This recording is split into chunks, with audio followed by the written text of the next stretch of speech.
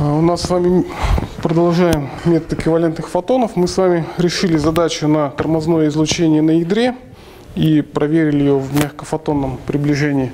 Сейчас давайте решим задачу аналогичную той, которая у вас э, в месячном задании. Аналогичная седьмой, почти что полностью аналогично, только э, мы будем в одной системе отчета смотреть, а в заданиях в другой системе отчета. Значит, первая задача на сегодня – а, рассмотрим тормозное излучение. Е минус, Е минус, Е минус, Е минус, Е минус гамма. Тормозное излучение а, электрона на покоящемся электроне. Вот у нас один электрон будет покоиться, а другой на него налетать а, с большой энергией, с энергией много больше массы, то есть ультрарелятивистский электрон будет налетать на покоящийся электрон. И найти спектр тормозного излучения. То есть, как обычно, d сигма по d омега.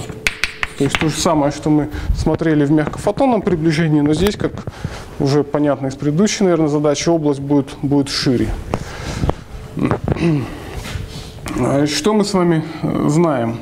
Вот, э, у нас есть два электрона, один покоится, другой быстро а, быстро летит. Если у нас тормозным образом излучает верхний электрон, а, то преимущественно куда летит тормозной фотон? Коллинеарно. Коллинеарно, да, то есть примерно в угле единицы на гамма, ну, там в зависимости от разных значений параметров энергии, там, э, энергии к массе, этот угол может быть там где-то больше, где-то меньше, но параметрически это малый конус раствора порядка единицы на гамма, правильно? Вот. А это если излучение происходит э, с, верхнего, ну, с верхнего электрона, который быстрый. Давайте вот нарисуем, пусть этот электрон у нас быстрый, а этот а, покоящийся, fast и rest. С быстрого электрона мы будем видеть конус, да? а медленный электрон, он вначале почти стоял, если он в электромагнитной волне быстрого начинает колебаться, то его излучение э, куда направлено? Есть ли какое-то направление вообще выделенное особо?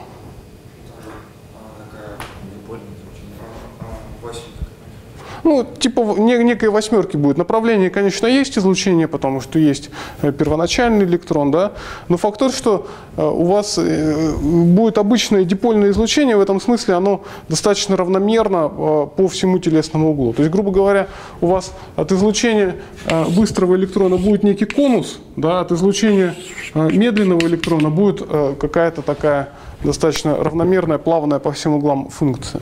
То есть что можно сказать? Что можно я к чему это говорю? Э, такое э, на словах качественное объяснение того, что можно разделить излучение быстрого электрона и медленного электрона. Они сильно разные, да?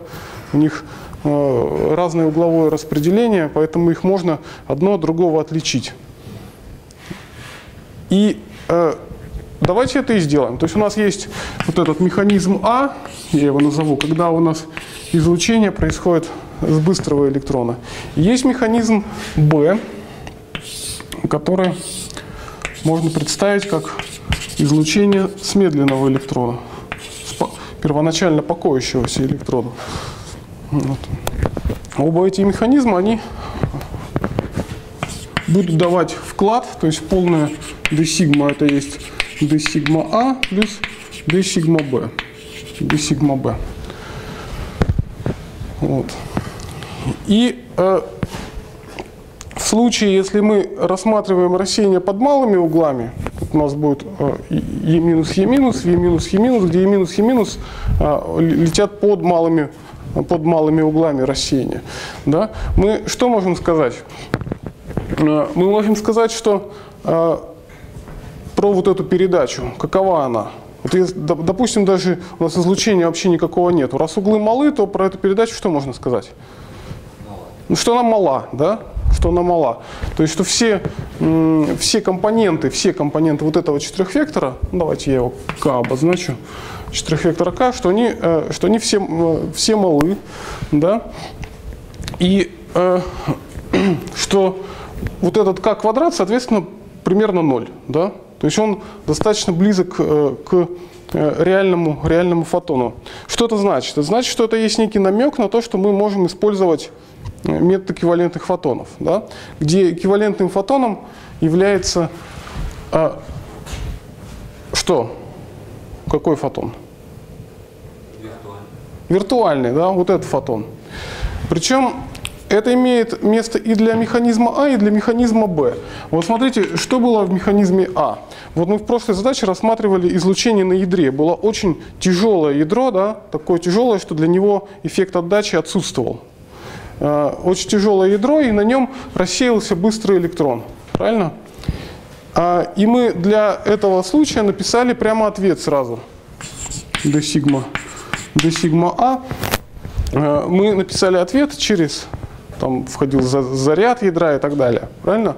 Здесь ровно та же самая история вот в первом механизме А. Если у вас все компоненты вот эти этого четырехвектора малы, да, то отдача, отдача мала, и мы можем просто взять ответ из э, задачи для излучения на ядре. То есть для первого механизма мы сразу можем написать ответ. Мы его получили э, на прошлом занятии, он в, в раздат его получал. Да, давайте его просто напишем что у нас там было? Было 4 альфа ре в квадрате, да, наверное. А, там было z в квадрате, где z заряд ядра. А теперь z не будет, поскольку у нас вместо, вместо ядра один электрон. Один электрон. d омега штрих, вот это пусть будет омега штрих, частота d омега штрих на омега штрих – вот такое выражение логари... А, ну, там были еще некие е штрих на е, логарифм е е штрих на м омега штрих, правильно? Где е штрих это есть е минус омега. Е энергия быстрого электрона, омега штрих это частота тормозного, тормозного фотона. И скобочка здесь была, там было Е на Е штрих плюс Е штрих на Е. И что еще? На, минус 2 третьих. Да? Минус 2 третьих. Вот такое выражение. И мы считали, что э, наше приближение э, работает там, где вот этот логарифм э, много больше единицы. То есть наши параметры таковы, что этот логарифм много больше единицы, и тогда мы можем применять наш, наш, наш метод. Вот. Давайте теперь ко второму случаю. Перейдем к механизму B.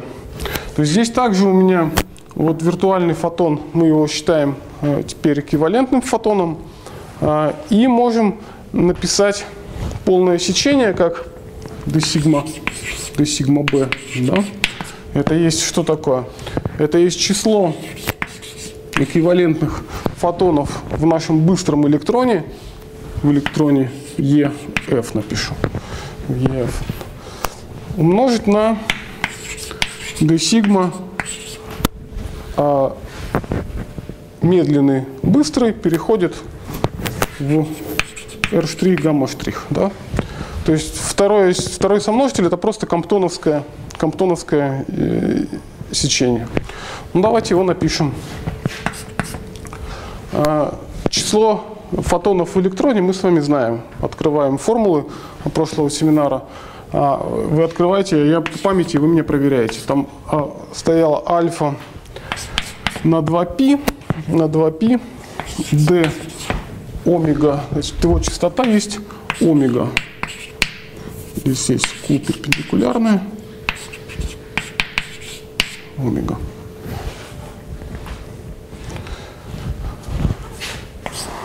d омега на омега. То есть это омега это частота эквивалентного фотона у нас, да? Частота эквивалентного фотона. d омега на омега. А, здесь там стояло что? Единичка плюс x а, чертой в квадрате, да, то есть 1 минус x. x это что такое? Это омега поделить на e. Все в квадрате такая величина. А, и логарифм. Под логарифмом стояла q перпендикулярная максимальная поделить на mx. То есть m, а, x это омега на e, да?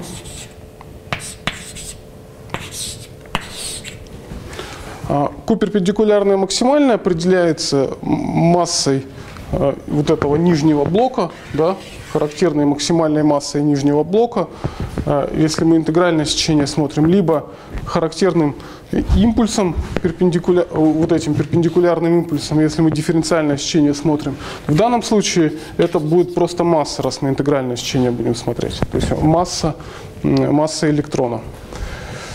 Э, здесь я квадрат не написал, поэтому здесь я не 2π пишу, а просто π. А правильно написал? Сечение правильно написано? Вот. Это dn. dn.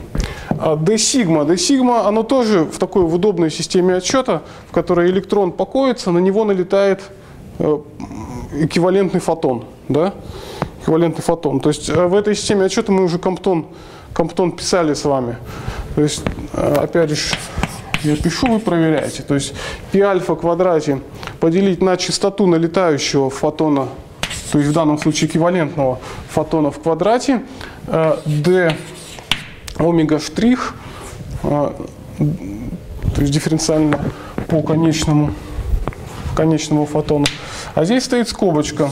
В скобке стоит омега на омега штрих плюс омега штрих на омега а, плюс а, m на омега штрих минус m на омега в квадрате минус 2 m на омега штрих минус m на омега. Правильно? На прошлом семинаре оно у нас уже было, просто проверяем, чтобы, чтобы все коэффициенты были, э, были правильны. Вот. И нам нужно проинтегрировать, проинтегрировать э, э, по поперечным импульсам эквивалентного фотона мы уже проинтегрировали, да, заработав вот этот большой логарифм. То есть мы уже работаем в логарифмической точности, и этот логарифм должен быть большой.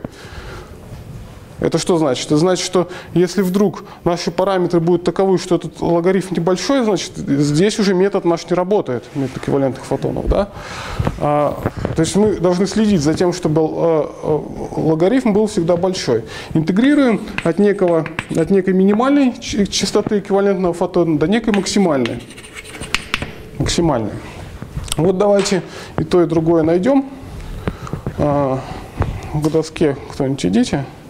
И давайте посмотрим, что получится. Сергей, давайте идите.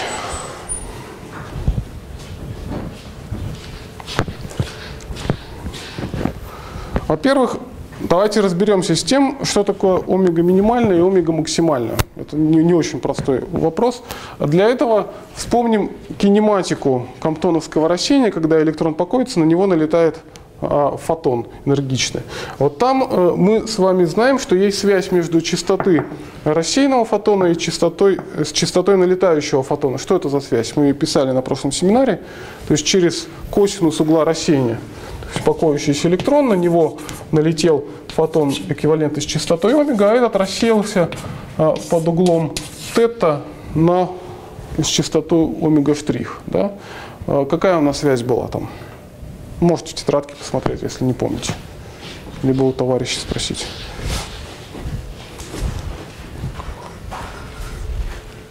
То есть есть однозначное соответствие между углом да, и частотой конечного фотона, между тета и омега штрих.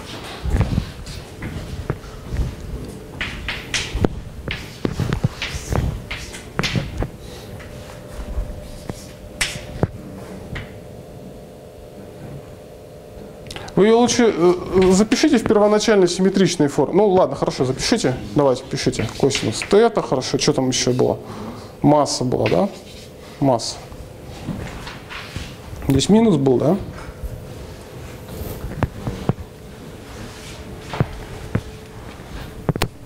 Минус там был?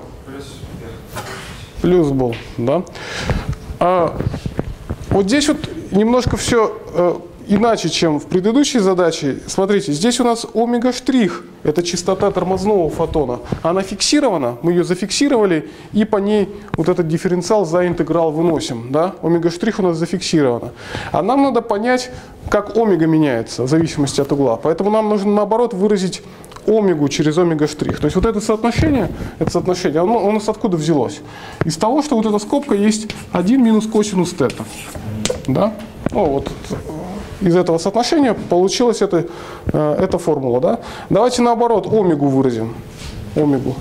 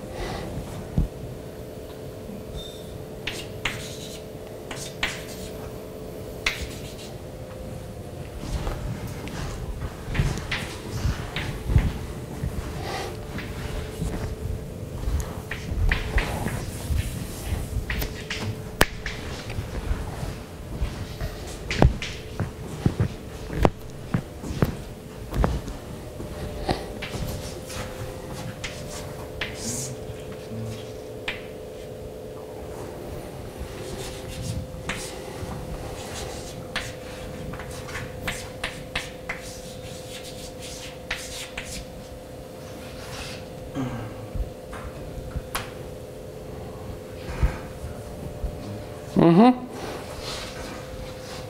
Окей. Ну, числитель, знаменатель на омега штрих домножьте, чтобы как-то красивее был.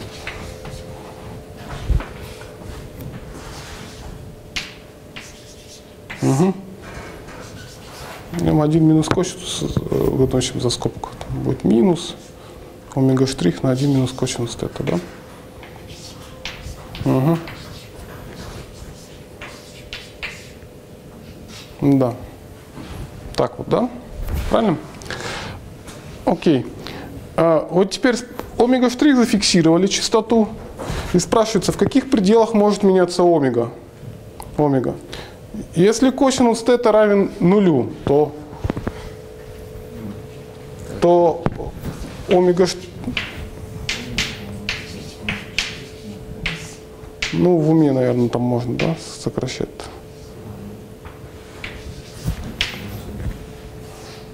Нет, если косинус тета равен нулю, не косин... э, А, вон, Если- пардон, если тета равно нулю, тета равняется. Тета меняется от нуля до пи, А, от нуля до пи, да? То есть просто омега штрих будет, правильно? Мы же смотрим диапазон изменения. У нас тета изменяется от нуля до пи. От нуля до пи. То есть омега штрих, а если тета, соответственно, равно пи, то... Угу.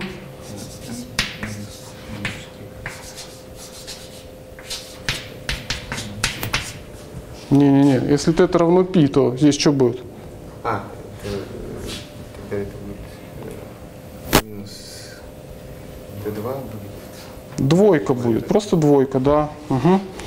А, вот сразу видно, что здесь возникает некое, а, некое раздвоение на несколько случаев.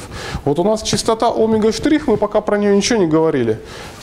Частота омега штрих может быть меньше, чем m пополам, да? Если она меньше, чем m пополам, то у вас вот эта величина, она не уходит в бесконечность. Правильно? Либо частота может быть, частота тормозного фотона может быть больше, чем m пополам. Больше, чем m пополам. Если она больше, чем m пополам, то вы до угла θ равно π не доходите, потому что у вас уже при каких-то углах меньших, чем π, этот знаменатель обращается куда? В ноль. обращается. И, соответственно, э, максимальная частота у вас будет не вот такая, а будет бесконечность. Правильно? То есть у нас возникает несколько, несколько случаев. Один такой случай, другой, другой такой случай. А, Ну, давайте с вами какой-нибудь какой из них э, рассмотрим. Какой вам больше нравится? Давайте первый. Хорошо. Хотя второй ин- интересней. А, Омега штрих меньше, чем m пополам. Да? Тогда омега, максим, омега минимальная чему равна?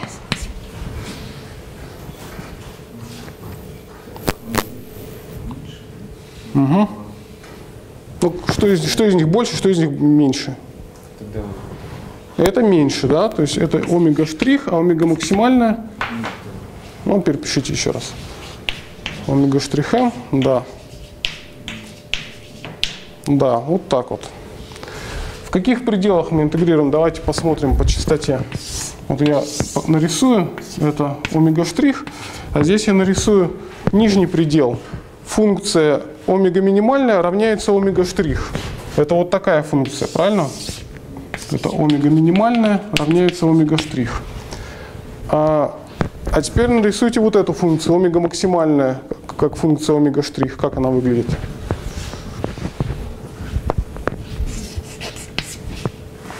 Чтобы понять, откуда до куда мы интегрируем. Ну что это такое? Какая кривая?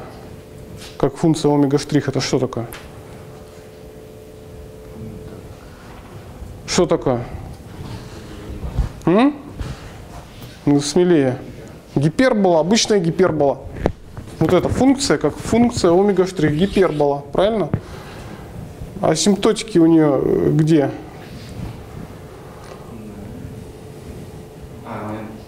На m пополам, да, вот здесь вот где-то есть m пополам, давайте подальше, m пополам, да, вот такая у нее одна асимптотика, а вторая асимптотика какая у нее?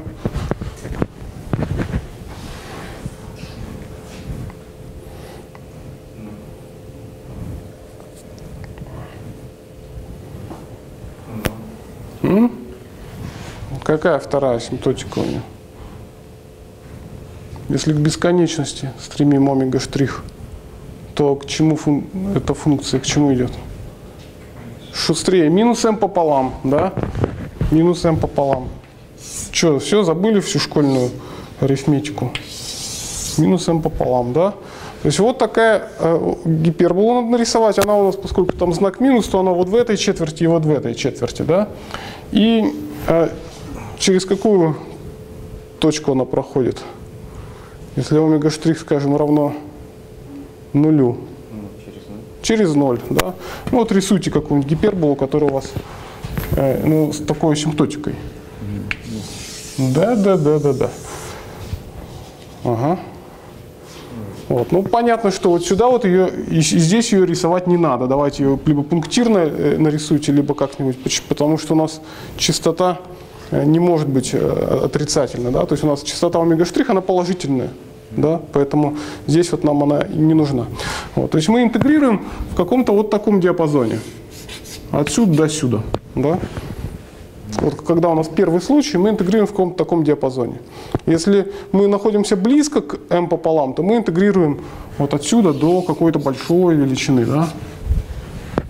Бегаем э, вдоль вот этой линии.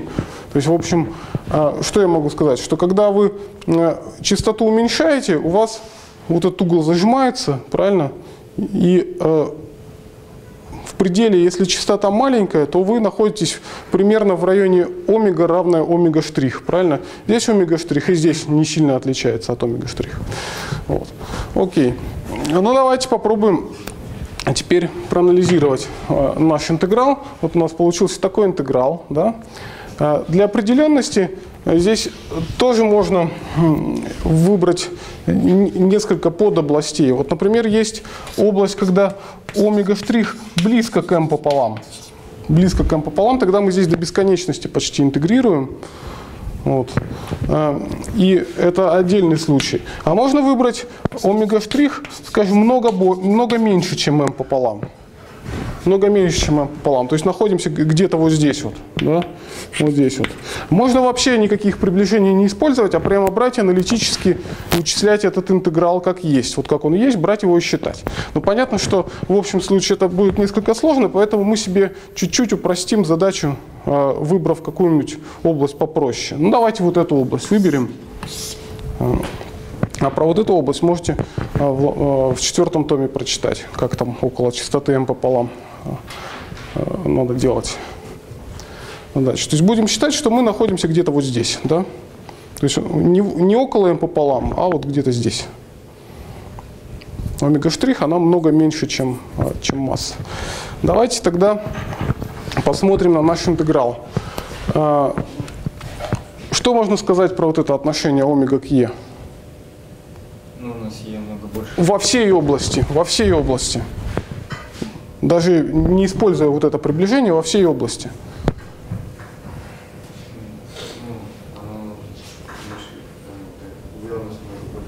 Е много больше М, да. Поэтому во всей нашей вот этой первой области мы можем пренебречь эт- этим слагаемым, верно? Его отсюда выкинуть. То есть все вот это у нас заменится на двойку, правильно? Давайте про логарифм посмотрим, что у нас здесь за логарифм стоит. Давайте его перепишите, на массу мы сократим.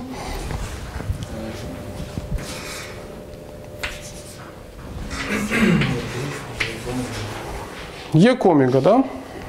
И по омега мы э, с вами интегрируем, верно? По омега мы с вами должны, должны проинтегрировать.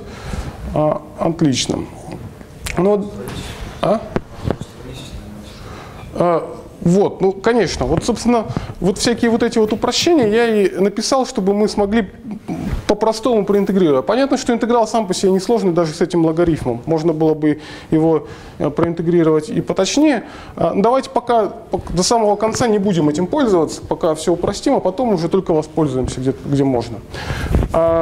А, Ну, понятно, что у вас, смотрите, это так же, как в прошлой задаче, возникает d омега делить на омега квадрат. Да? Поэтому удобно перейти а, к, к новой переменной, ну да, мы ее там обозначали кси, по-моему, да, а, m на омега. Вот давайте, а, поступая так же, как мы делали в прошлой э, задачке по аналогии, а, вот этот множитель за скобки вынесем, сюда вынесем и перейдем к новой переменной. Посмотрим, во что у нас превратится наш, наш интеграл. А, равно, ну где? Ну здесь, да, давайте, здесь. А я пока все, все сотру. Не Не, пока не выносим. Пока все, погодите, вы сначала коэффициенты все вынесите. То есть выносится альфа, пи сокращается. Здесь, наверное, упростить можно, да? Ну, сокращается, в смысле, писать его не надо, да?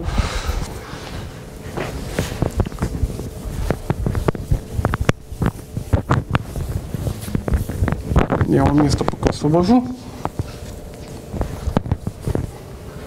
То есть мы за скобки здесь вот здесь вот вынесли омега на омега штрих, да? Омега на омега штрих. Вот, дава- давайте они пусть перепишут, а мы это в уме делаем. Зачем мы сделали? Чтобы d омега на омега штрих сразу наружу вынести. Правильно, молодец. Соответственно, вот эта штука будет в квадрате, правильно? А здесь будет омега штрих на омега множителем. И здесь омега штрих на омега множителем, да? Минус 2 омега штрих на омега.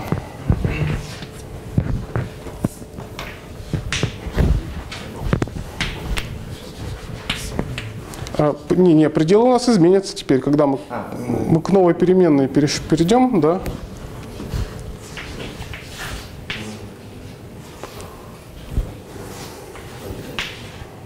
То есть вы пока еще не переходите. Ну хорошо, ладно, перепишите.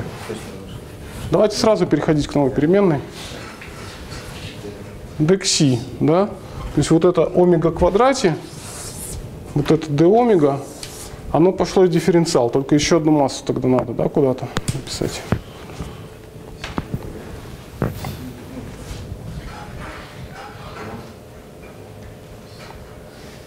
В знаменатель, наверное, да, массу нужно написать. Ну, кси это безразмерная переменная, а d омега на омега, омега квадрат имеет размерность единицы на массу. Декси, да. Логарифм пишем. Под логарифмом у нас, я стер благополучно. А вот эта омега, смотрите, она вот этой сократилась. Не зря мы вынесли это. да. Логарифм был логарифм е, е, е делить на омега. Да? Значит, в новых переменных это будет что такое?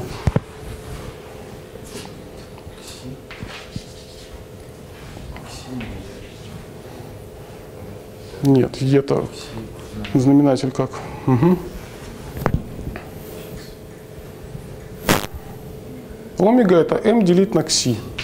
То здесь будет m, а в числителе e. Да. Вы e и кси как-нибудь по-разному пишите. Мгм. В квадратных скобках все это в каких-нибудь. Возьмите аргумент. Логарифм. Ага. Да. Вот такой вот у нас логарифм. Логарифм. Здесь у нас что останется? Единичка плюс омега штрих на омега. Вспоминаем, что такое. Омега штрих мы оставляем омегу выражаем через кси, да, то есть будет э, омега штрих на m все в квадрате, правильно? И на кси в квадрате. Угу. Че? Подожди, по дифференциалу. По, по дифференциал, ну вот, d омега делить на омега квадрате мы написали как dxi. dxi, да? Правильно? И массу не забыли еще. Массу. Здесь тоже будет на массу и на кси, да? Угу, это вот этот множитель. А вот этот перейдет куда? Это вот прямо наша кси стоит, да? M на омега штрих минус кси в квадрате. Ага.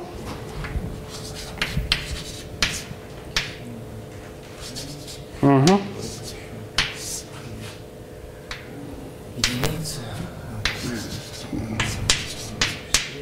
Минус кся, да. Нет, без квадрата, да. Угу. Окей. Кси в каких пределах? Вот эта скобка, да, закрылась. Кси в каких пределах меняется теперь? Верхний предел какой будет? Раз единица на кси, значит нижний стал верхним. Кто был никем, тот, тот станет всем, да? Из грязи, князи в грязи.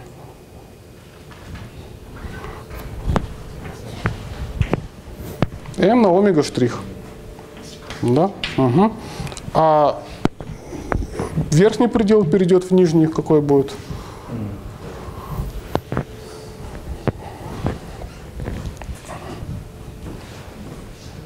Пока мы еще никакие приближения в этой области не использовали. Да? Вот это еще не использовали. Пока что преобразуем как, как есть.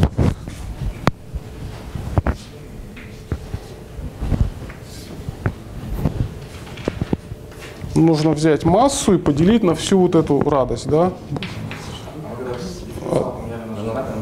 Что-что? Дифференциал примерно знак поменяться вообще должен, да? Ну, э, конечно, у нас, вот смотрите, пределы поменяли, верхний на нижний поменяли, да? Но и дифференциал у нас же dxi это будет минус d омега делить на омега квадрате. Еще один минус. Мы это учли. Э, Я как вас учил уже, э, что можно за знаком, вот этим знаком не следить. Почему? Потому что вот первоначально положительный интеграл, он у вас и, и потом после замены будет положительный. Да? Вы же видите, что вначале интеграл положительный, да? от меньшего до большего интегрируете. Значит, и после замены у вас от меньшего до большего, когда интегрируете, будете получать э, тоже положительный интеграл. То есть из, поэтому за знаком плюс-минус здесь можно не следить.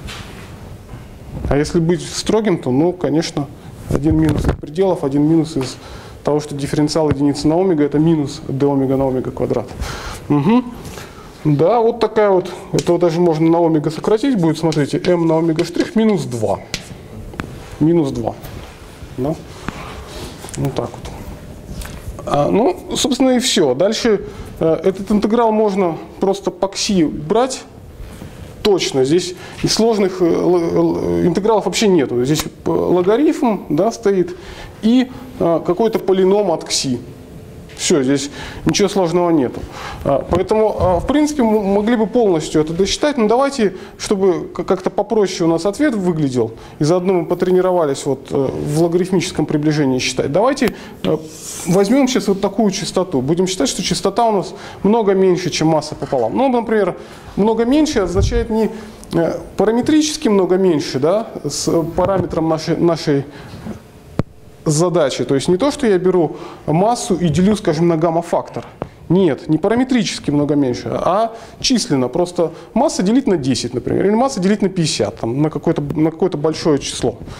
Э, И вот в таком приближении давайте логарифми, э, посчитаем наш интеграл. Э, Что мы видим? У нас есть вот этот предел и есть вот этот предел, да? А кси между ними зажато. При омега штрих маленьком это число какое? Большое, правильно? Это число большое. А здесь то же самое число минус 2. Правильно? Поэтому в как, можно вынести логарифм наружу, взяв в качестве кси э, что? М? Можно верхний предел, а можно и нижний вообще-то взять. В этом приближении можно и нижний, и нижний взять.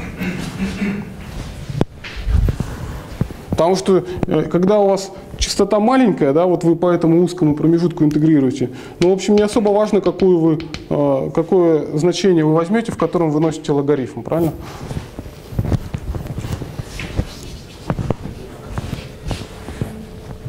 Ну, подставляем. То есть в качестве кси берем, ну, что выбрали? Вот это, да, выбрали?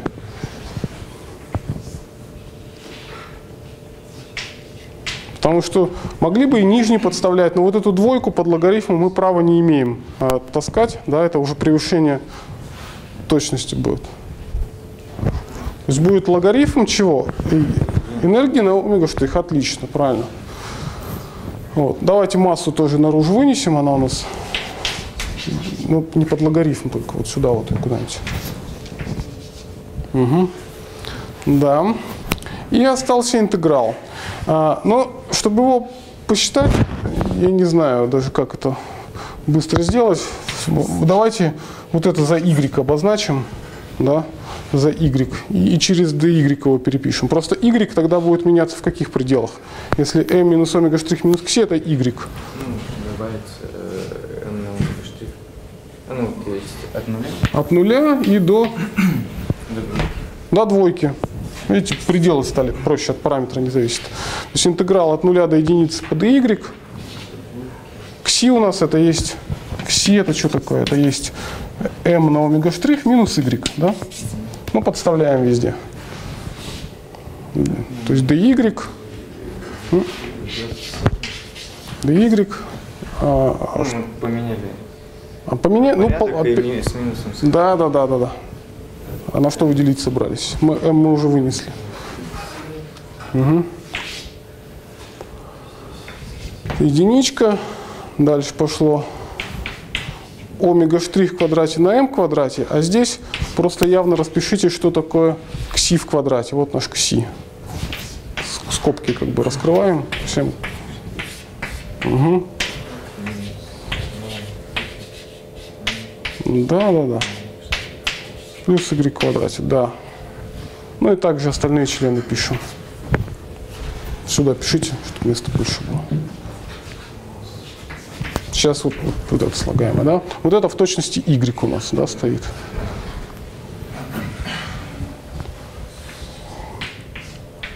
Проинтегрировал кто-нибудь? Или доской смотрите?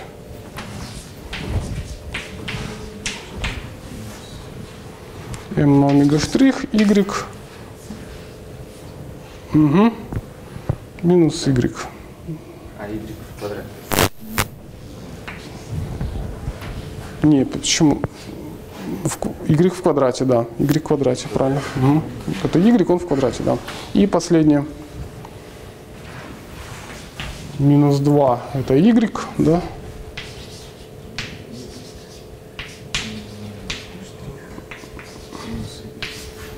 И еще было омега штрих на m. Омега, штрих на m. Ага. Да, вот так. Окей. Все.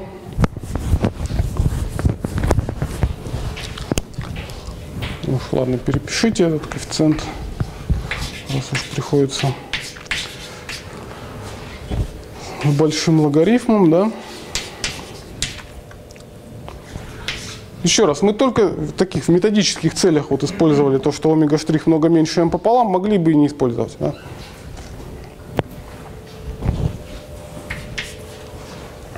Здесь 2. Давайте от этого слагаемого что будет? Нет, они здесь сократились. Вот, от первого слагаемого. А, первый Да, тоже двойка. Тоже двойка. От вот этого слагаемого интеграл по y что нам дает? Y квадрат. почему ну, пополам с двойкой ушло, да? Ну, То есть это будет четверка умножить на омега штрих. омега штрих на m, да, со знаком минус. Минус четверка от интеграла и омега штрих на m, да. Окей. Дальше. От y интеграл будет 8 третьих, да? Здесь квадрат, да? 8 третьих. И m пополам в квадрате еще множителем. Угу. Давайте, да? Да, хорошо. Здесь смотрим от первого слагаемого. Тоже все сократилось. Осталось просто... А? Размерность потеряли? Очень интересно, где? Ну, омега штрих на m это безразмерная же величина. Где мы ее потеряли? Не, ну у нас же сейчас размерность там m, в омега штрих.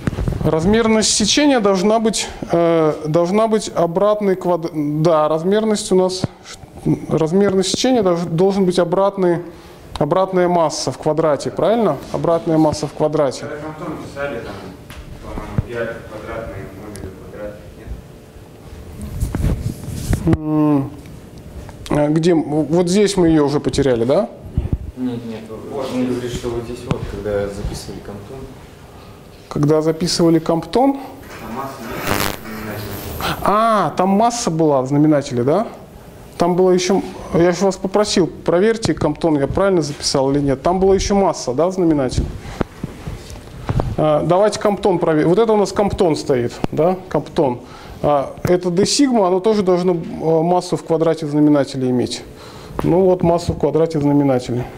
А а, ну, ну, было, вот так, а нужно было массу дописать. Да, спасибо. Вы сразу сверяйте, когда мы это пишем, чтобы потом так вот не возвращаться. Здесь массу в квадрате. Ага, здесь еще не в квадрате. Вот здесь квадрат, Угу. Здесь в квадрате. То есть они в РЕ тут объединяются, да? В радиус электрона. Первого, вот смотрите, 8 третьих это вот отсюда, да, хорошо, дальше. Отсюда. Здесь будет аж третья степень, то есть 16 четвертых, да? 16 четвертых омега штрих на m. Угу. Отлично. Сюда идем. Здесь тоже у нас частично сокращается, да?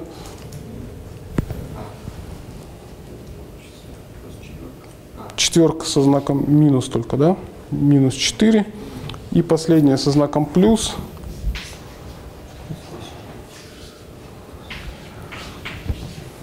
Y. Почему 8 третьих? Нет, не 8 в третьих. Здесь же двойка еще. Y в квадрате интегрируете. Это будет 16, 16 третьих, да? 16 третьих, правильно? 16 третьих. Омега штрих на... Ага, да, вот так вот. Вот так вот. Здесь получается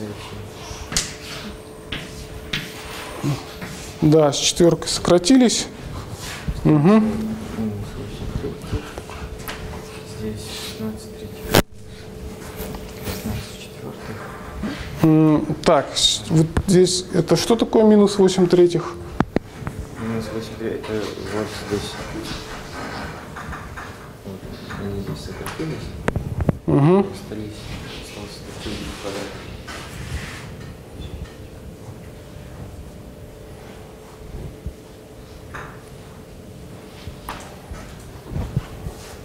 Нет, что-то у нас э, со знаком как-то, со, с общим знаком как-то нехорошо. У нас же частота маленькая, правильно? То есть омега штрих на m это малый параметр, много меньше единицы. И что мы видим, что у нас главный вклад получился минус 8 третьих, что ли? Это что-то не так.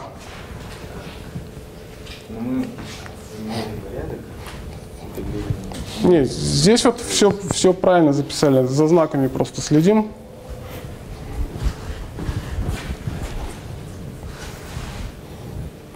Вот это что такое? Это какой член? Вот это почему со знаком минус?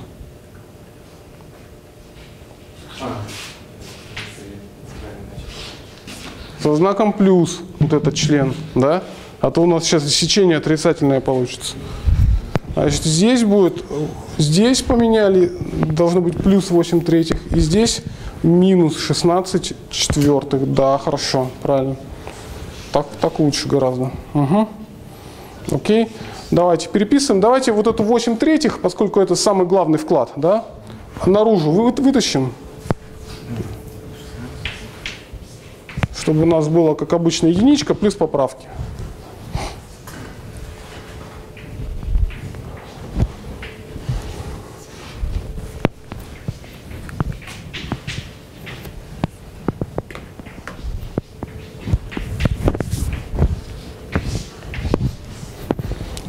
Единичка. Окей. При линейных членах линейный у нас вот, где еще? Вот тоже четверка. И вот 16, э, да? То есть минус 4 плюс минус 4 это будет минус 8, да? Минус 8. И мы 8 третьих вынесли. То есть будет... Здесь, угу. Ну, что останется? Пишите. Угу.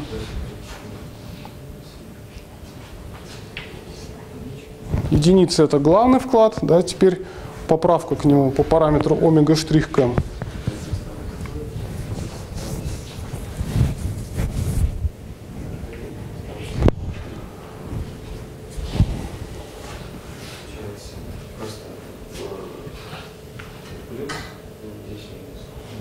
Угу. Минус омега штрих на m, правильно. И от квадратичных. От квадратичных у нас только вот он, да. Плюс омега штрих. Да, все в квадрате, да. Во. Ага. Вот такое выражение получили. Правильно? Нигде не ошиблись в коэффициентах.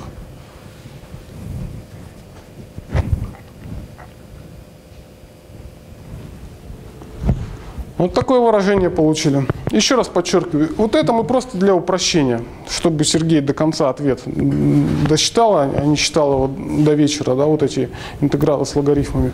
Вот. А, в целом можно было бы а, это упрощение здесь и не делать. Здесь оно не принципиальное в первой области.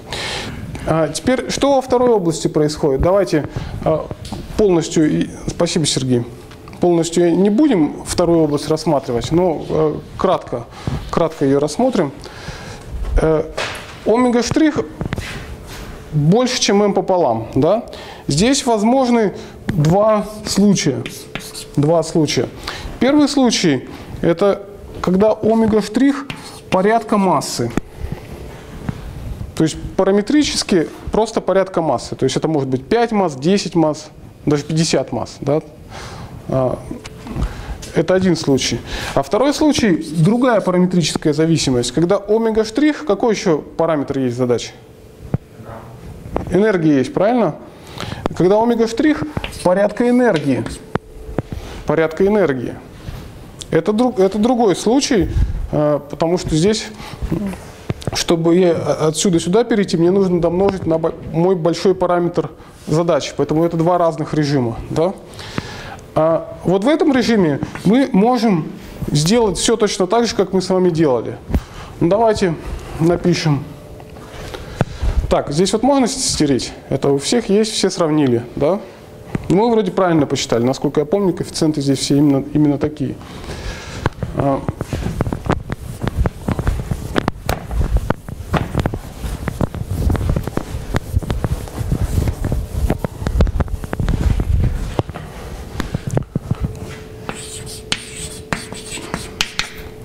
У нас то же самое выражение, что и раньше, да, но теперь верхний предел у нас будет бесконечность, поскольку мы вот в этом режиме находимся. То есть интеграл будет, а, давайте его сразу перепишем,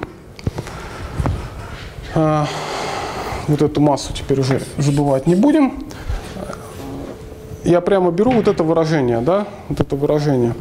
Значит, интеграл по d омега делить на омега в квадрате. Омега в квадрате осталось d омега штрих делить на омега штрих. Здесь π сократилось, будет альфа в кубе на массу в квадрате, правильно? А, нет, не в квадрате, пока что просто на массу. А, на массу. И интегрируем мы от омега штрих до бесконечности. До бесконечности. Интегрируем вот эту квадратную скобку. Единица плюс омега штрих на омега в квадрате плюс омега штрих на омега. А здесь стоит, так напишу, из вот этой скобки вытащу m на омега штрих. Будет m на омега штрих в квадрате. А здесь останется э, омега. Что я хот- хотел сделать?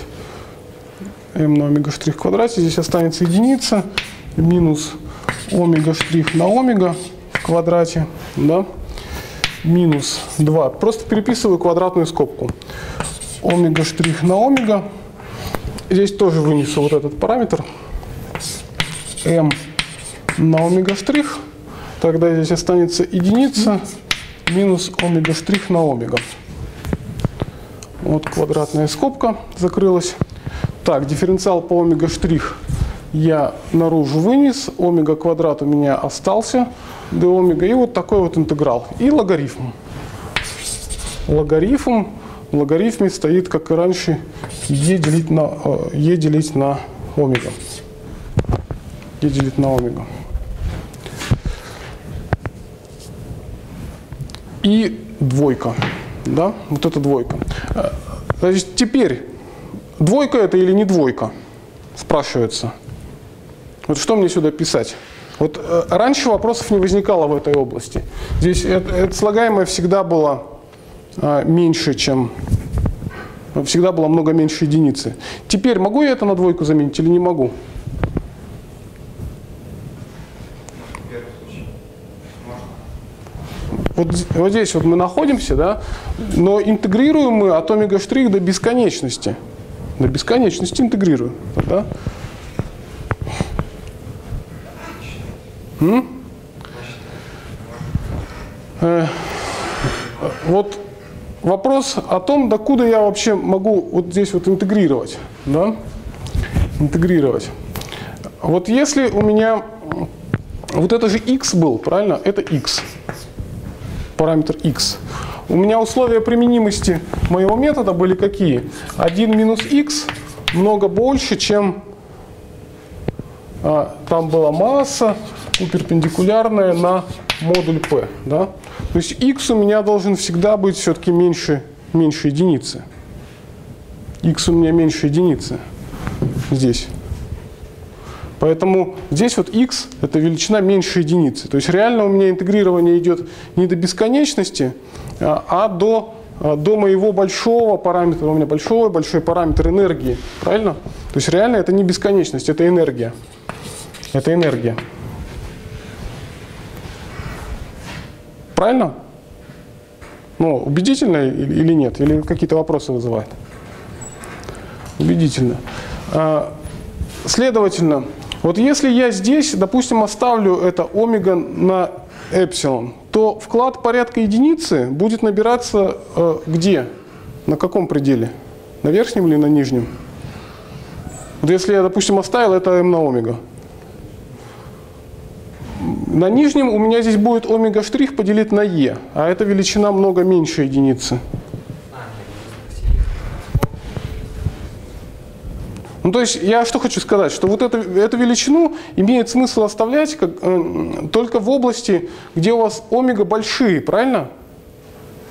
Ну, согласны, что там омега, где порядка е, тогда он дает вклад порядка единицы.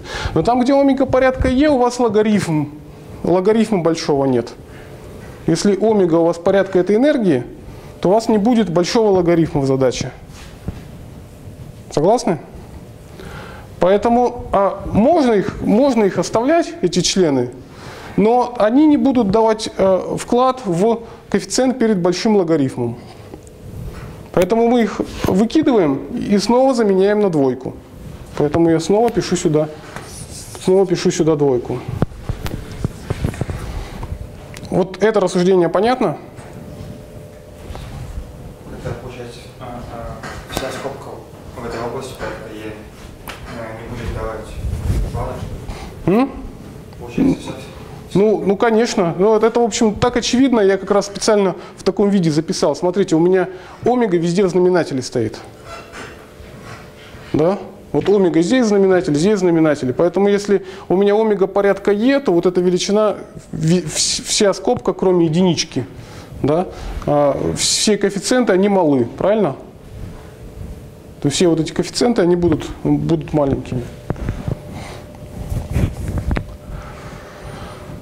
Ну и все.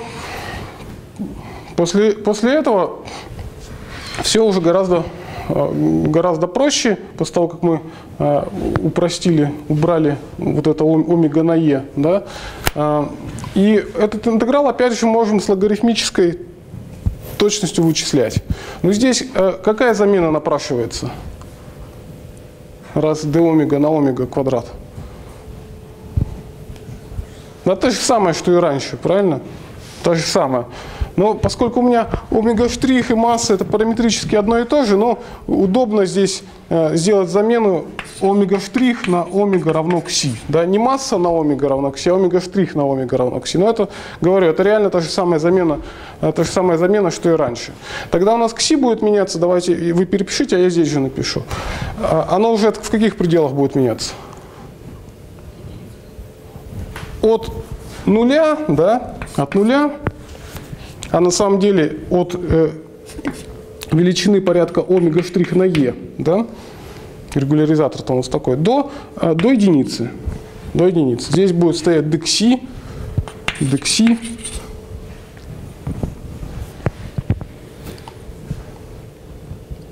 У меня опять с размерностью какая-то какая-то какая-то ерунда, да? А, не-не-не, пардон. Я же, э, как- когда замену делал, декси, вот у меня стояло d омега делить на омега в квадрате, правильно? Я перехожу к декси. Если я к декси перехожу, то у меня еще одно, один омега в штрих знаменателе будет, верно? Поэтому я сюда ставлю квадрат, а здесь будет декси. Декси. Просто не до конца перешел. Вот. Здесь у меня стоит кси в квадрате, здесь стоит кси, здесь стоит кси, здесь стоит кси, здесь стоит кси, а здесь стоит е на омега штрих умножить на кси.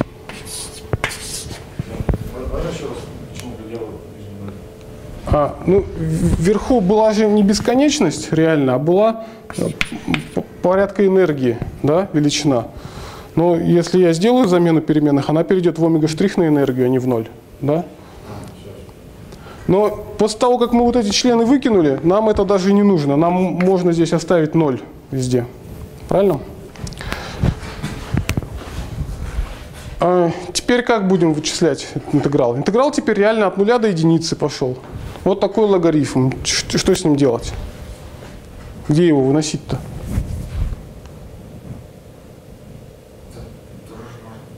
Ну, на каком пределе мне его выносить? И, и почему я имею право это делать?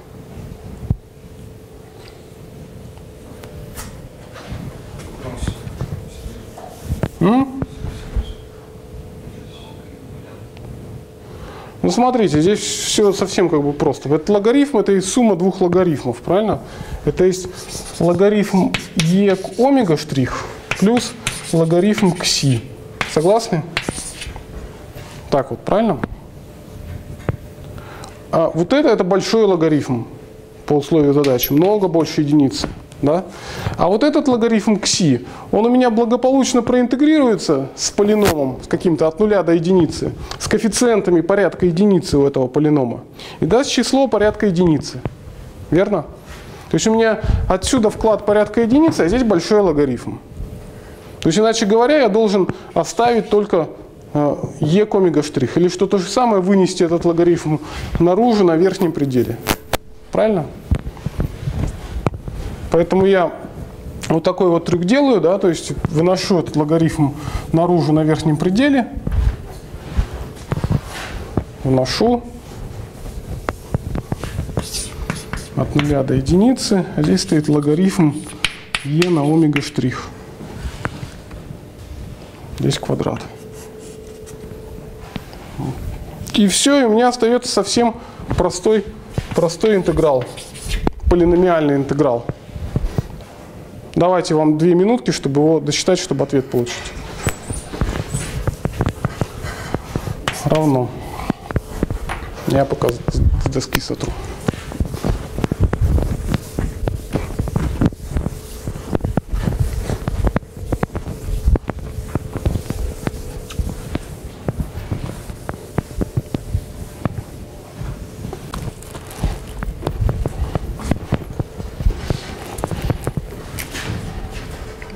Что у вас получилось? Ну, 8 третьих, если наружу вынести дальше. d омега штрих на омега штрих в квадрате, да. Еще там масса у нас где? где? Знаменатели, да. А в скоб а логарифм большой, вот мы его записали e омега штрих. А здесь единицы плюс э, масса делить на омега штрих на 4. Масса делить на 4 омега штрих плюс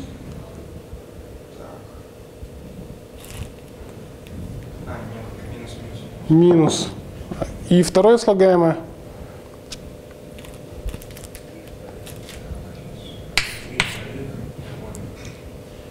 ну, от, от отношения как m квадрат к омега штрих в квадрате, да, зависит. А коэффициент какой?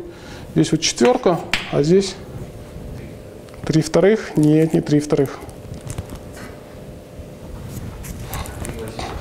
Вы 8 третьих на- наружу вынесли. 8 третьих наружу вынесли. А? 16, 1 16, да. 1 16. 1 16, да. И знак тоже плюс. Вот. Вы 8 третьих наружу там, Леонид, вынесли, поэтому там коэффициент, наверное, из-за этого другой у вас, да? Вот такой вот спектр получился. Обратите внимание, что это стоит на это обратить внимание, что он уже не d омега штрих делить на омега штрих, правильно? Как раньше было везде. Он d омега штрих делить на омега штрих в квадрате. То есть вообще-то спектр модифицировался относительно обычного тормозного спектра типа d омега на омега. Правильно? То есть видно, что здесь зависимость э, более интересная получилась. И так, по вычислению интеграла здесь вопросов никаких нет, По- понятно всем, да? Ну, если где-то не так, то э, арифметика, в арифметике ошиблись. Это правильный ответ, это правильно писали. Последний случай, когда омега штрих порядка энергии. Что мы про него можем сказать, про этот случай? Вот давайте на большой логарифм посмотрим, который у нас э, в нашем методе возникает. Вот этот большой логарифм. Ага. То есть не будет большого. Его там нет, да? Его там не будет, этого большого логарифма. Но это не так, не так очевидно, потому что вы интегрируете по омега, а не по омега штрих. Омега штрих у вас наружу выносится до омега штрих на омега штрих. Правильно? Но э, характерные омеги, на которых вы сидите, у вас же интегра- интеграл идет от омега минимальная, а это омега штрих. Правильно? Омега минимальная у нас была, напоминаю, омега штрих, а это была бесконечность во второй области. Поэтому, по крайней мере, ваши омеги, они везде больше, чем омега штрих. Если у вас омега штрих параметрически это энергия, то у вас не будет большой логарифм. Большого логарифма не будет. Это значит, что ваш метод просто неприменим. То есть вы методом эквивалентных фотонов, э, вот этот случай, когда у вас жесткий спектр, вы его найти не сможете. Его нужно искать другим методом, например, методом квазиреальных электронов. Это понятно? Просто большого логарифма здесь не, не- не появится у вас. А по этой задаче вопросы есть какие-нибудь? Вот в вашей месячной вам, по сути, то же самое нужно сделать, только еще дифференциальный спектр найти. То есть еще написать выражение до интегрирования. До интегрирования по углу. Потому что вот здесь вот в полном сечении, когда мы полный комптон писали, э, мы по омега проинтегрировали, да? Вот, а там, там интегрировать э, не надо, то есть один из промежуточных ответов должен быть до интегрирования написан. Давайте дальше двигаться. Сегодня нам нужно еще один- одно интересное сечение успеть сделать. Вот принципиальных вопросов здесь нет. Все понятно?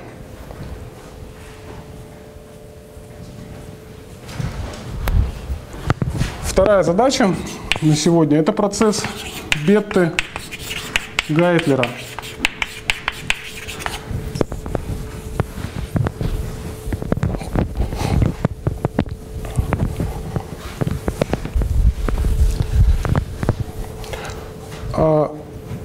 Что это такое?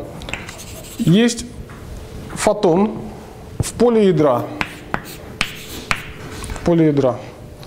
И фотон в поле ядра может родить электрон-позитронную пару. Где плюс, Е минус. Вот этот процесс называется процессом Бетты-Гайтлера.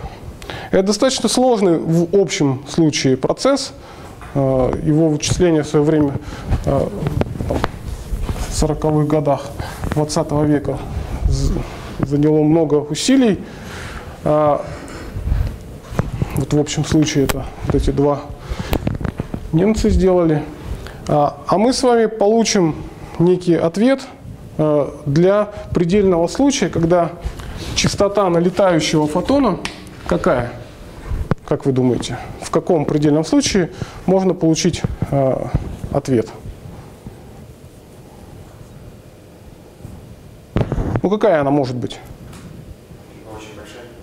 Очень маленькая может быть. Во внешнем поле можете электрон-позитронную пару родить, э, если частота очень маленькая.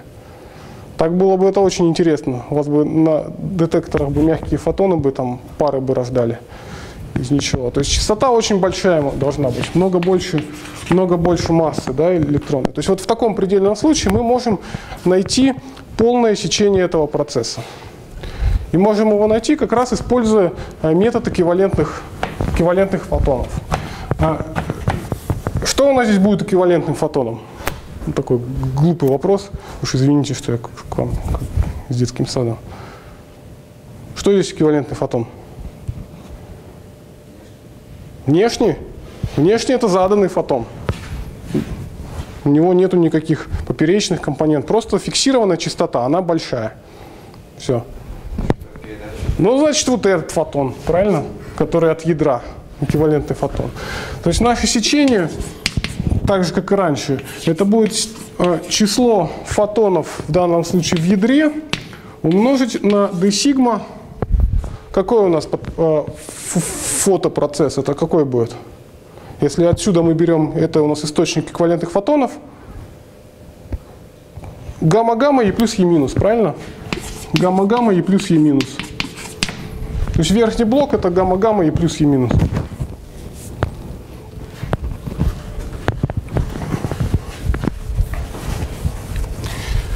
Но чтобы написать вот эту формулу, вот эту формулу, у нас э, источник фотонов эквивалентных должен быть каким? М? Ультрарелятивистским, да, чтобы его электромагнитное поле было почти плоской волной, чтобы виртуальностью вот этого фотона можно было пренебречь, правильно? Поэтому прежде чем записать вот эту формулу, мы должны перейти в систему, в которой а, это ядро ультрарелятивистское. Можем мы это сделать? Когда частота такая большая? М? Можем, да? А если бы частота маленькая была, могли бы это сделать? Тоже могли бы. Кто? Кто мне мешает сделать э, буст э, так, чтобы вот эта частота, ну, так, чтобы вот это ядро стало релятивистским? Существуют же такие системы отсчета, где это ядро релятивистское, правильно? Ну, давайте, Леонид, идите к доске.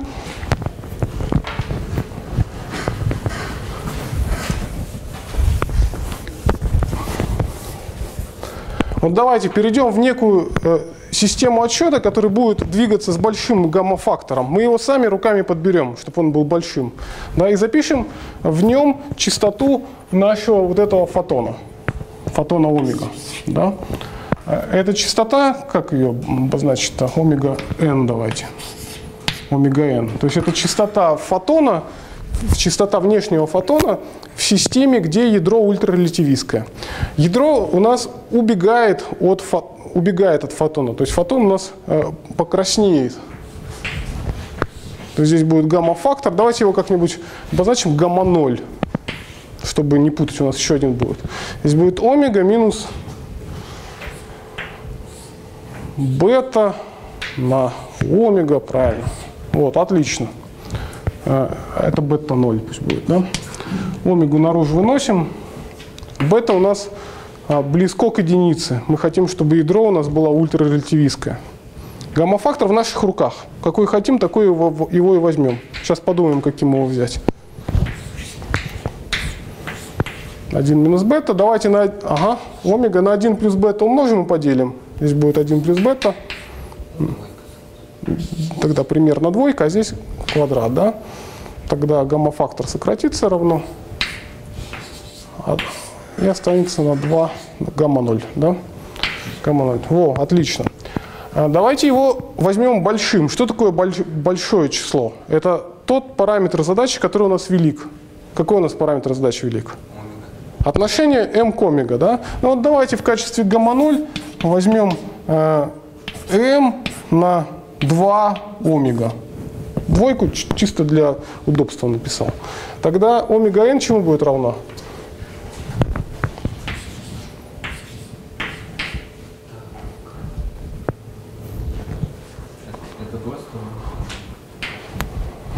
То же самое омега, что и здесь, да? Ой, а мы его большим хотим взять, а не маленьким. А я его маленьким взял. Наоборот. Наоборот, нужно взять его большим, правильно? Мы же его большим хотим взять. То есть э, двойка для удобства, а здесь омега км это наш параметр. Двойку я написал, чтобы вот эта двойка сократилась. Просто для удобства. Масса, просто масса, да? Все, теперь у нас ядро релятивистское, э, здесь у нас масса, и теперь нам нужно написать сечение вот этого процесса. Вот этого процесса, да? Э, Сечение. А, И dn. Вот это dn мы находили с вами на прошлом семинаре. Посмотрите, чему оно равно. Пока вы смотрите, я напишу сечение сигма гамма-гамма e плюс e минус. А, Это сечение мы с вами не считали, но мы считали э, кросс-канал этого сечения, квадрат маточного элемента, правильно? Поэтому это сечение можно из э, комптоновского сечения, которое мы считали, получить просто преобразованием кроссинга. А, И я ответ сразу записываю. Пи квадрат пополам. Здесь стоит, здесь стоит единица минус бета квадрат умножить на 3 минус э, бета в четвертой. Здесь стоит большой логарифм, так же как в, ком- в Комптоне. Комптон как был устроен? Единица на s, да, и большой логарифм, логарифм s. Вот единица на s, а, а здесь э, стоит 1 ми плюс бета поделить на 1 минус бета минус 2 бета, 2 минус бета в квадрате. Вот такая вот радость. Это полное сечение, где бета это и что такое? Бета это есть ск- скорость а, электрона и позитрона в системе центра инерции. Или иначе говоря, если через инвариант S это записать, бета это и что такое? Через S. Чему бета равно?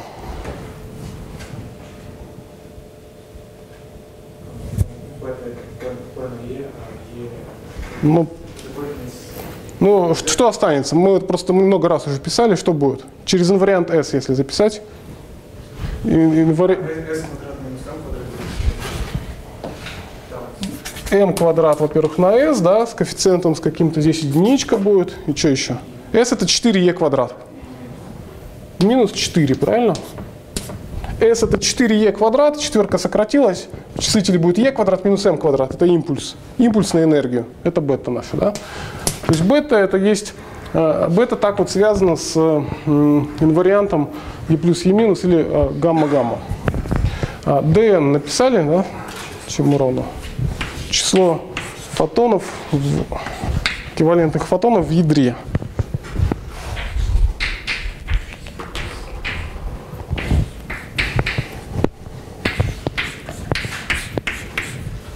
x это у нас омега, да, давайте, э, омега на e, давайте сразу введем частоту эквивалентного фотона, омега ее обзовем. Ага, хорошо, пишите пока.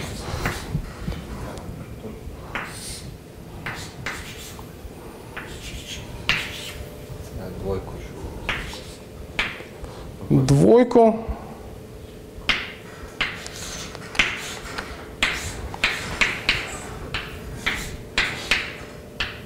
Ой, это что такое вы пишете дальше? Вот это вот.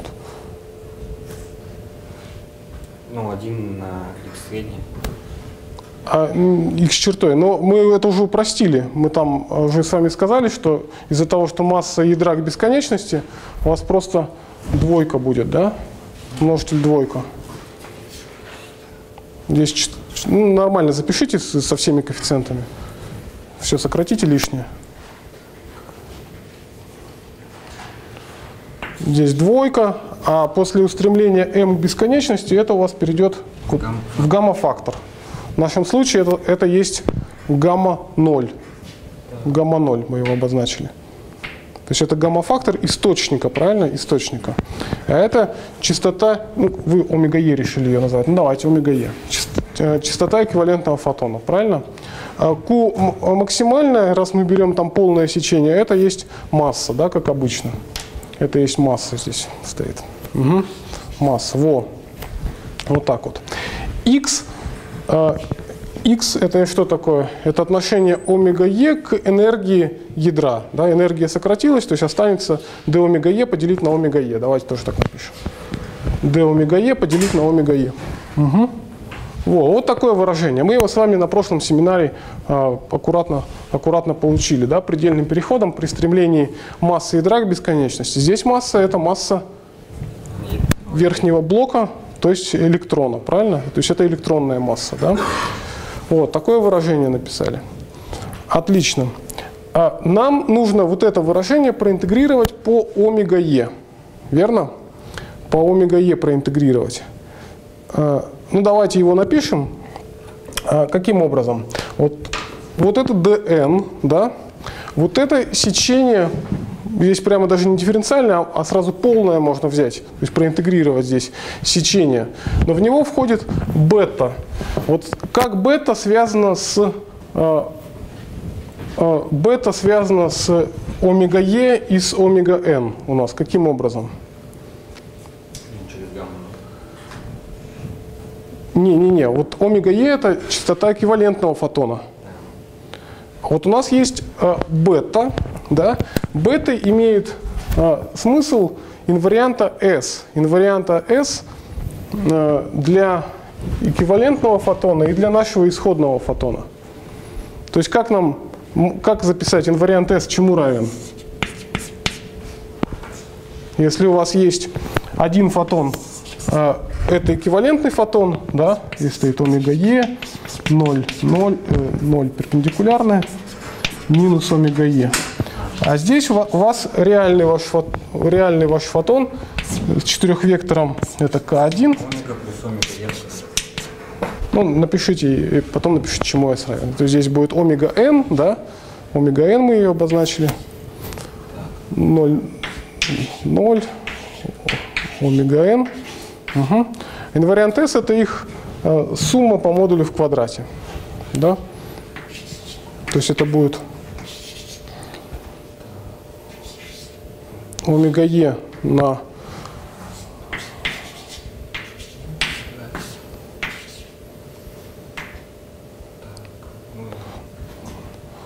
То есть S, это еще раз смотрите, это есть К1, это есть К1 плюс К2 в квадрате. Они у нас фактически реальные. То есть это чему равно? К1, К2 в квадрате, если скобки раскрою. Ну, два. 2 К1, К2, да? А 2 К1, К2 чему равно? Вот наши К, просто перемножаем их явно. Омега Н. Угу. А, 4 омега Е, омега. Совершенно верно. То есть это есть 4 омега Е, омега Н. Во, отлично.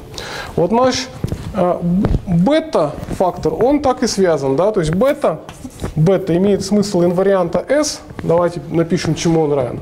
Это есть корень. Вопрос, почему удобно здесь интегрировать? У нас есть омега Е, независимая переменная, есть бета, которая вот так связана с омегой. Почему удобнее интегрировать? По бета или по омега Е? Вот бета через омега Е довольно страшно выглядит, правильно? Давайте подставим сюда, чему равно наше омега n, оно равно массе. Что останется?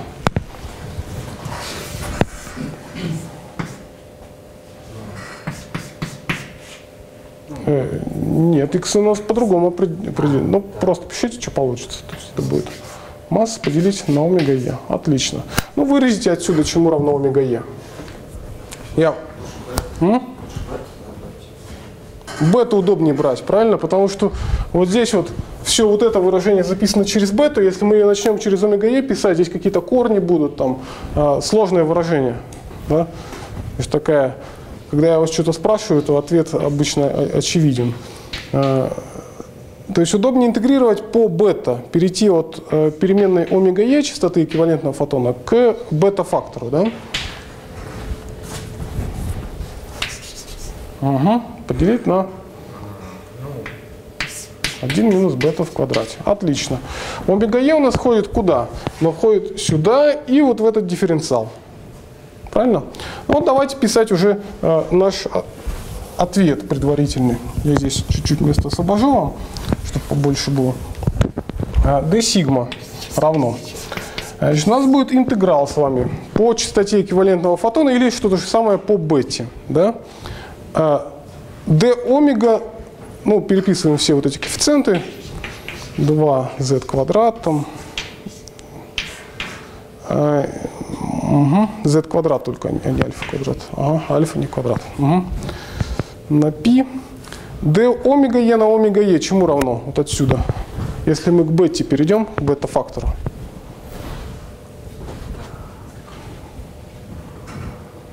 То есть еще раз, пока Леонид пишет, смотрите, интегрирование по частоте эквивалентного фотона эквивалентно тому, что мы интегрируем по инварианту S, рожденной пары. Да? Рожденной пары. Хотя вы сами понимаете, что у вас, если есть исходный фотон во внешнем поле, то он рождает пару с вполне определенной энергией полной. Чему эта полная энергия равна? А? Ну громче, Эльдар. Ну вот у вас во внешнем поле летит фотон, и он на два на электрон-позитронную пару развалился. Чему равна полная энергия электрон-позитронной пары?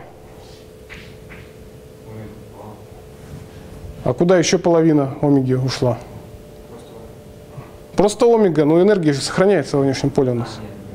у нас э, я про что? Что электрон с позитроном рождается с определенной энергией. У них нет диапазона там какого-то, да, энергии.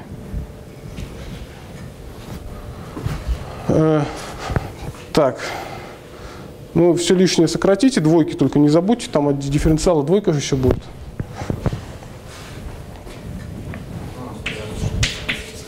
То есть d омега e на омега e, e только пишите, ага, это есть 2 бета d бета поделить на Здесь вот был квадрат, а здесь осталась одна степень.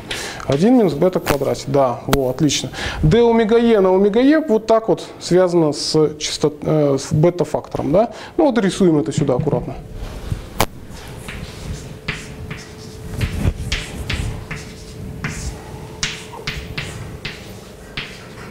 Во, чудненько. А откуда до куда бета меняется?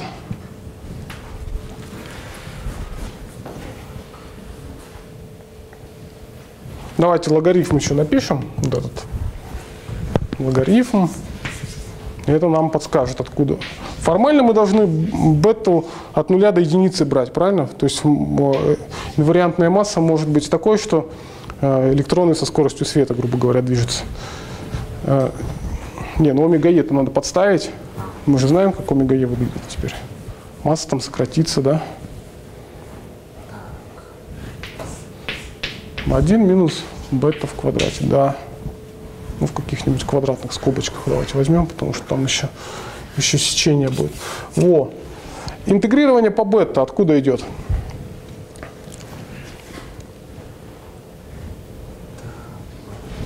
Если омега е менялась от нуля до бесконечности, то бета будет меняться откуда до куда? А? Почему четыреханку? М?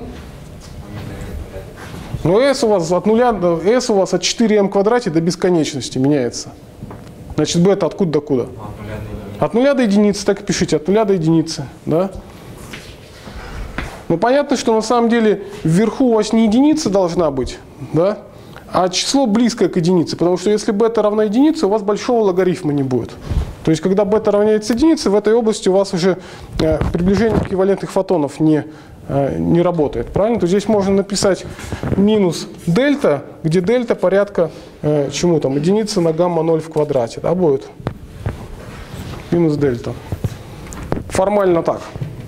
Какая-то маленькая добавка, э, отступили от единицы, потому что в единице логарифм уже перестанет большим быть. Вот. Это наша dn и сечение пошло. Давайте я вот это сотру, хорошо, а вы пишите сечение.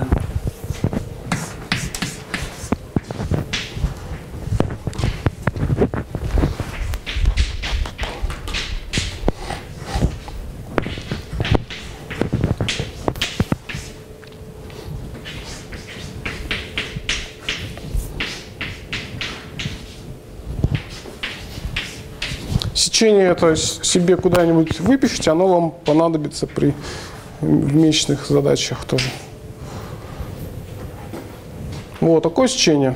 Давайте упрощать. Что у нас здесь? Что-нибудь сокращается?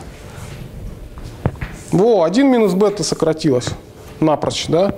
Поэтому верхний предел мы теперь можем уже не регуляризовывать вот этим условием а, применимости нашего приближения, правильно? У нас интеграл уже сходящийся, можно, можно теперь здесь просто единичку написать. Ну, в след- в следующем интеграле единичку напишем. О.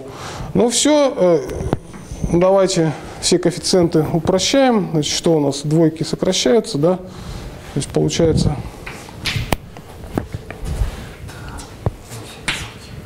пи уходит, да? Мгм. Осталась одна двойка. Да. Брюе в квадрате. Отлично. И интеграл. Интеграл. Давайте, прежде чем его писать, э, проанализируем, что у нас здесь стоит. Вот здесь вот глядите, что стоит. Э, Логарифм гамма 0 – это большой-большой параметр. Он в наших руках, он очень большой, да, мы его можем взять. А, Будет логарифм гамма 0 стоять плюс логарифм 1 минус бета в квадрате. Правильно? А Что можно сказать про вклад э, в общий интеграл от этого и от этого члена? Ну, от логарифм гамма 0 будет главный. Главный член будет, да? Почему? Потому что э, это большой параметр, и мы с логарифмической точностью все считаем. А про, э, с этим логарифмом интеграл берется, интеграл сходится, оставшийся интеграл. Вот стоит логарифм 1 минус бета в квадрате, и вся вот эта квадратная скобка еще бета стоит. Сходится интеграл? Сходится или не сходится? Конечно, сходится. Интеграл от логарифма, да? Интеграл от логарифма x dx. Это сходящаяся величина. То есть от вот этой штуки у нас просто будет некое число. Правильно? Э, Некое число. И, кстати, когда вы гамма-фактор подставляли... А, гамма-фактор вы еще не подставляли, да? Ну, окей. То есть просто гамма-0, да, вот так стоит гамма-0. А здесь некое число будет, да? Поэтому сразу можем наружу, наружу за интеграл вынести наш логарифм гамма-0. Пишем сразу, чему равно гамма-0. Это э, омега на 2m. Под логарифмом двойку можно опустить с логарифмической точностью, правильно, опять же? вот там, наверное. На- вот здесь вот. Ну и тоже гамма 0. Э, Где? Вот здесь вот? Ну и что? Ну, должен быть логарифм гамма 0 будет вкладываться. Откуда? Еще раз. Вот у нас есть такой интеграл. Интеграл от нуля до единицы. Здесь логарифм 1 минус бета квадрате, а здесь стоит полином от бета. d бета. Даже?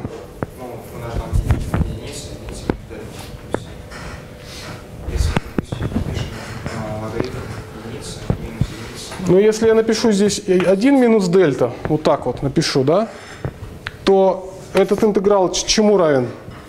Асимптотически при дельте, стремящемся к нулю, это что такое будет?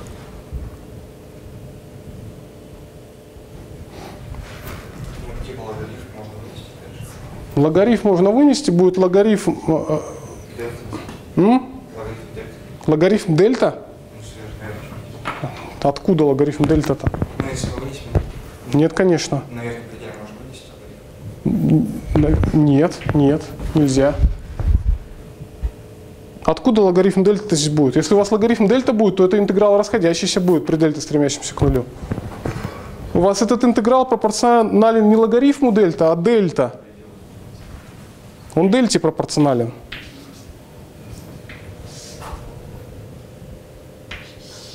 Правильно? Ну вы, а как вы его считаете? Можете посчитать. Вы берете, например, этот логарифм в ряд разлагаете. В ряд разлагаете, от нуля до единички суммируете этот ряд. Но у вас, у вас везде там степени дельта будут возникать.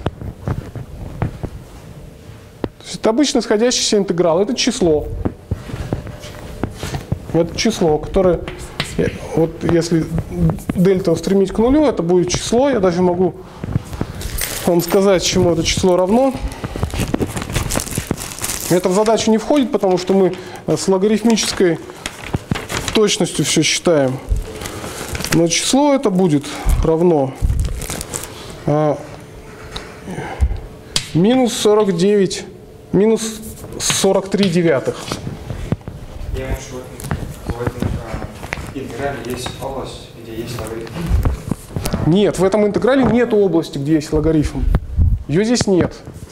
Я еще раз это говорю. Вот у вас при дельта, стремящемся к нулю, при дельта, стремящемся к нулю, ответ у вас выглядит так. Минус э, 43 девятых плюс О большое от дельта. От дельта, но не от логарифма дельта. Или не от дельта логарифм дельта.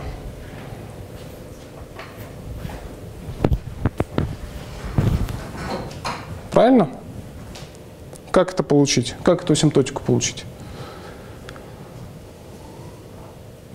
ну, почти. По частям проинтегрировать просто один раз и все. То есть от логарифма от этого избавиться, чтобы логарифм ушел у вас э, в, в знаменатель куда-нибудь. Вот. А, Значит, пишем. Ага, вы уже ин- интеграл считаете, да?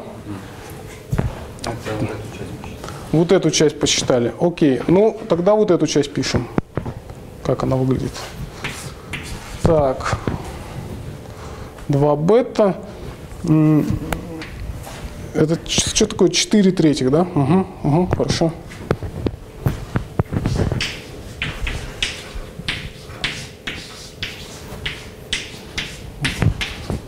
Четыре третьих плюс 2 пятых. Да, правильно. То есть это будет там сколько? 14, 14 пятнадцатых. Вот. И такой интеграл остался. 2 бета. Угу. Такой. И все. Да? И все. Угу. Отлично. А как его считать, этот интеграл? А, Его нужно свести к некому эталонному интегралу, и эталонный интеграл посчитать, так же, как мы делали раньше.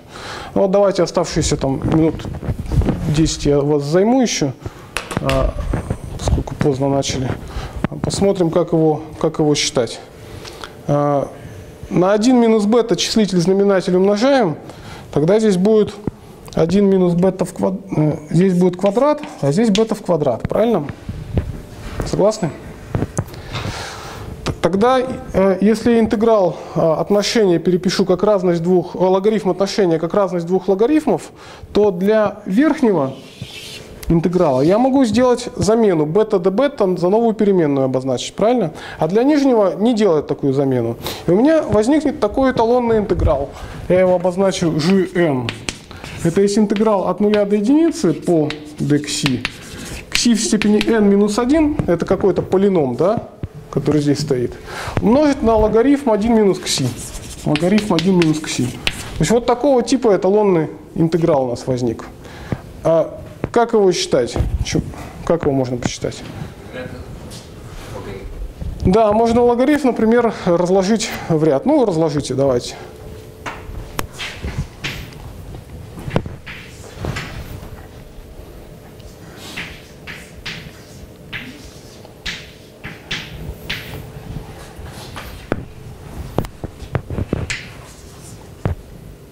Только n это плохая переменная, А. ну, потому что n уже есть, нужно k какой-нибудь.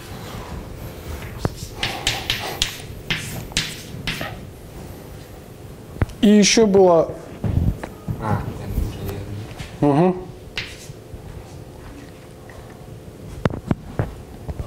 Вот так вот, правильно? минус остался. Это минус. Теперь правильно?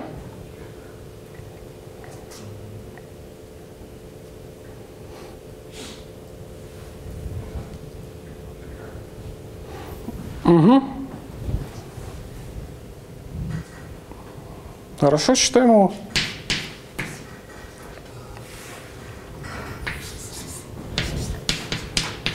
От единички до бесконечности. Здесь будет k на k плюс n. Угу. Отлично. А,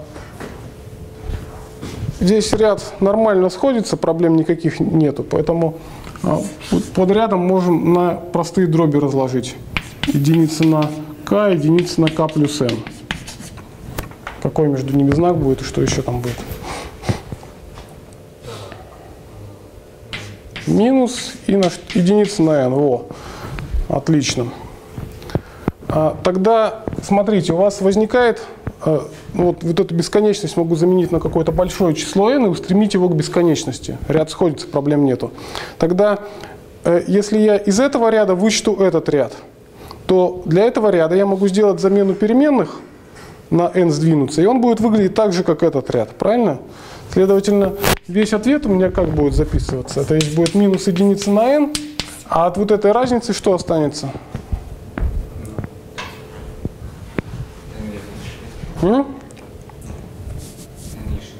N лишних членов, да? То есть будет единица, э, единица на n, плюс единица на n минус 1, плюс и так далее, плюс единичка, правильно? Согласны? Или, или быстро сильно?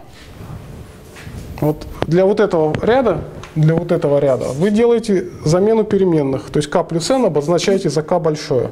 Когда у вас точно такой же ряд возникает, k большое, только k большое меняется уже не от единицы, а от 1 плюс, от 1 плюс n, правильно? И вы из вот этого ряда, здесь тоже k от единицы до бесконечности, единицы на k, вы читаете весь бесконечный хвост, правильно? Весь бесконечный хвост вы читаете, а остается только первые n э, членов этого ряда. То есть единичка плюс единица на n, ну, либо единица плюс одна вторая, Мгм. плюс так далее. Да, плюс единица на n. Да, вот так вот. Отлично. Так выглядит наш э, интеграл эталонный. Тогда то, что здесь написано в квадратных скобках, давайте с вами перепишем. Значит, в квадратных скобках у нас что осталось? Вот здесь вот от первого интеграла здесь будет что? Минус 20 плюс 6 и, и на 15. Минус 14 15. Минус 14 15. Совершенно верно. А вот эти все интегралы, которые у нас здесь стоят, давайте их запишем через наш GN. Через наш GN. Значит, смотрим аккуратно. Здесь вот э, берем числитель логарифма. Мы должны там сделать замену. Вот у нас дв- двойка как раз стоит, 2 бета, да? Кстати, вот у вас вот это 2 бета, а откуда вот это 2? Вот вы, казалось бы, двойку вынесли. Ну вот, а, вот почему вы здесь написали? Вы, вы двойку вынесли, а почему здесь вот 2 бета у вас осталось? Вы же когда этот интеграл считали, вы же просто бета брали. Здесь двойки нету, да. Здесь двойки нету, да. То есть для числителя логарифма мы должны сделать замену переменных, да. b квадрат равно новой э, переменной. И 1 вторая тогда будет, правильно? 1 вторая пишем. 1 вторая. А интегралы, которые здесь возникли, какие будут? Тройка умножить на g какое?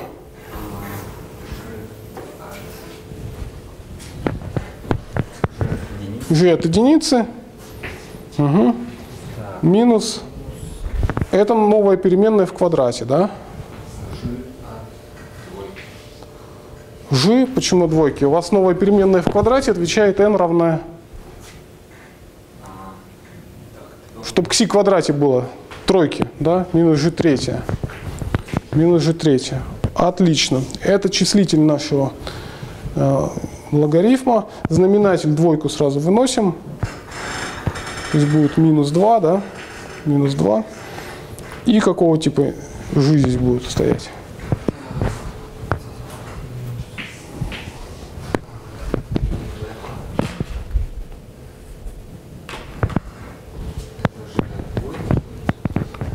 g от двойки с тройкой, да, дальше минус g, g от шестерки, g от шестерки. Угу. Во, отлично. То есть вот это надо посчитать. Ну давайте э, мы вот эти g напишем, а уж высшую арифметику вам на дом э, оставим. Давайте посчитаем все g, которые у нас входят. g1 чему равно? Сюда смотрим. Если единицу подставляю. Минус. Просто минус 1. Да? G2 равняется, смотрите, минус единица на 2, а здесь будет 1 плюс 1 вторая. Чему это равно? Пишите.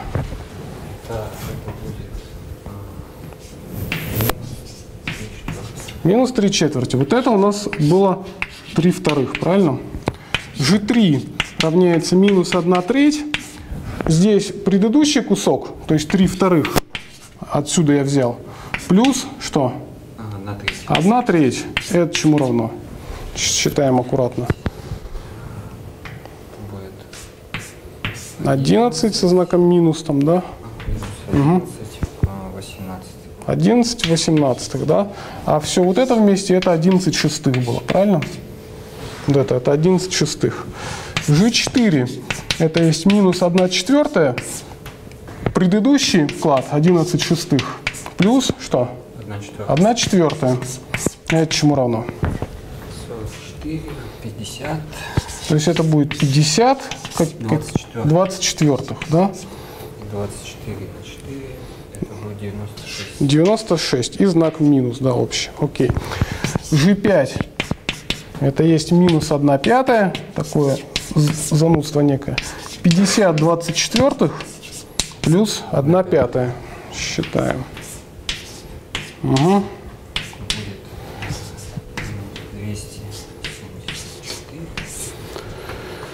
274, 274 20 на 5, а, это будет 600. э, 120 на 5. 120 на 5, 600, да, 600. 120 на 5. Да, правильно. 120 на 5, 600. Ну, сократить можно, да, наверное, здесь. На сколько можно сократить?